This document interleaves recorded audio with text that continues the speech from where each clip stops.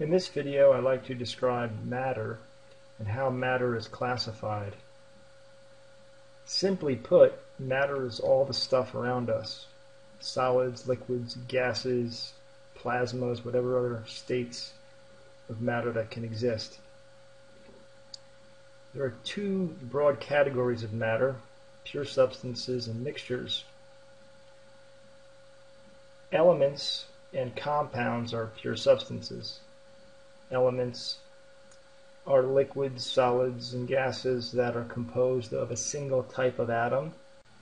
Examples of elements are hydrogen gas, oxygen gas, pure iron, copper, zinc, lead, nitrogen gas, liquid mercury. Compounds are solids, liquids, and gases that are composed of two or more different types of elements in a fixed ratio. Some examples of compounds are water, pure water, pure sodium chloride, or sometimes people will call that salt, vitamin A, vitamin E, all of the individual B vitamins. Mixtures, on the other hand, are two or more different pure substances. There are homogeneous and heterogeneous mixtures. Homogeneous mixture has uniform ratio of substances throughout a sample of that homogeneous mixture. Heterogeneous mixture, on the other hand, has non-uniform ratio of substances throughout that heterogeneous mixture. One of the big questions that comes about when asked to determine if matter is a homogeneous or heterogeneous mixture is how do you tell? Well, for our purposes, because we're not going to use sophisticated instrumentation to get down at the molecular level, we're going to go by simply visual assessment. The other big question that comes about is how is a compound not a mixture?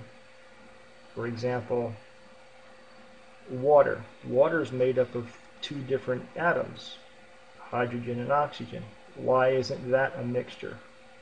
Well, compounds have their atoms, or their elements, chemically bound. Mixtures, on the other hand, have components that are not chemically bound together. So, for example, a homogeneous mixture would be salt water assuming all of the salt has dissolved, the two pure substances in salt water are water and sodium chloride. Here are some examples to help practice in determining if matter is a pure substance or a mixture. These examples are matter at the particulate or at the atomic level. The first example, on the far left, is a sample of black atoms combined with two red atoms that are bound. Because these two red atoms are bound, they're considered an element. Remember, an element is matter composed of one type of atom. So the black dots can represent an element, and the two red dots bound represent another element. Collectively are these black dots and two red dots a mixture or a pure substance? Remember, a mixture is two or more pure substances in a particular volume. So this would be a mixture. Next, in the middle, it appears that there are two different atoms bound a blue atom and a red atom. So recall the definition of a pure substance. Pure substance is either an element or a compound. Well, element is something made up of only one type of atom. Well, these are made up of two different atoms. And if you remember the definition of a compound, compound is something that is made up of two different atoms, at least two different atoms that are bound, chemically bound. So this is a pure substance. The last example is an example of an element because these are two identical atoms bound, chemically bound. In this example, we're asked to determine if these three types of matter are a pure substance, a homogeneous mixture, or a heterogeneous mixture.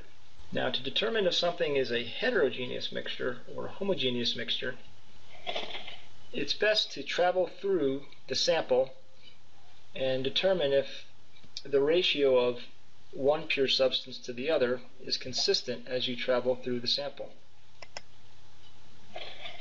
So if I start on the left corner and I travel through the sample,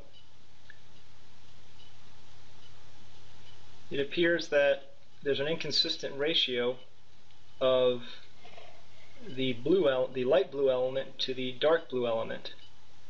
There is more dark blue element in the center of this sample than there is on the outer regions of the sample. So there is an inconsistent ratio or distribution of light blue element to dark blue element. So this is an example of a heterogeneous mixture. Next, we have an example of a pure substance. There's only one type of compound in this sample volume and that is a compound made up of a purple and a light blue atom. So this is a pure substance. And lastly, we have a mixture. The mixture is composed of a red element and a blue element. As you travel through the sample, there appears to be a consistent ratio or distribution of red element to blue element. So this would be an example of a homogeneous mixture. Now we'll go through some examples at the macro level. So a chocolate chip cookie is a good example of a heterogeneous mixture.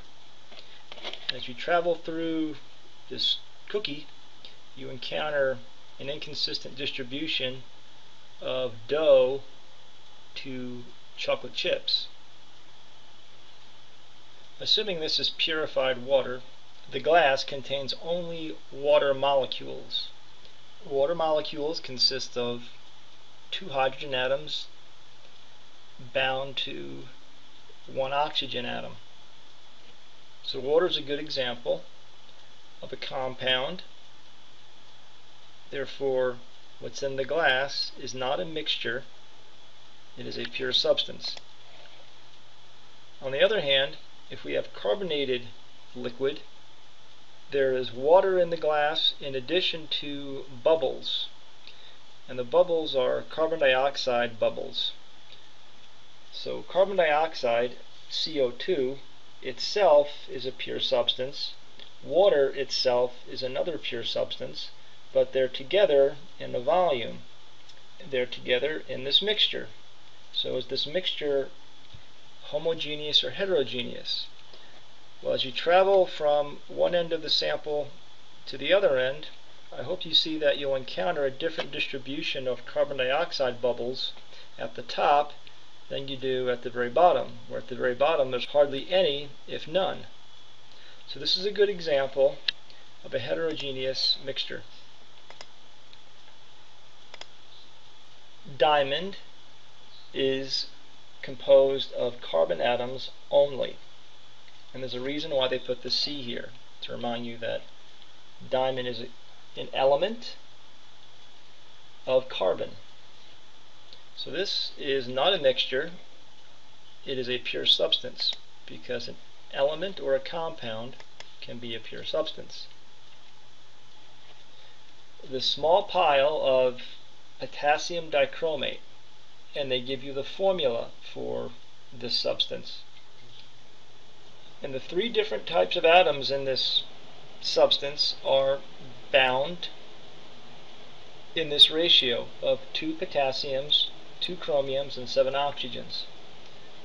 So like water, H2O, and carbon dioxide, CO2, K2CR2O7 is also a compound. So this is a pure substance. Now if some of that potassium dichromate you just saw is dissolved in water,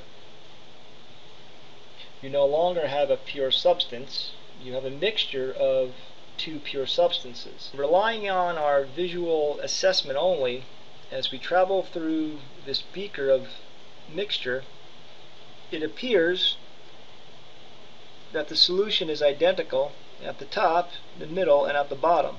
In other words, there's an equal distribution of water and potassium dichromate in this volume. So this is an example of a homogeneous mixture. Here's a picture of quartz. I hope it's pretty apparent as you travel through this sample, like the chocolate chip cookie, there's an unequal distribution of these different types of minerals in this sample of quartz. So this is a heterogeneous mixture.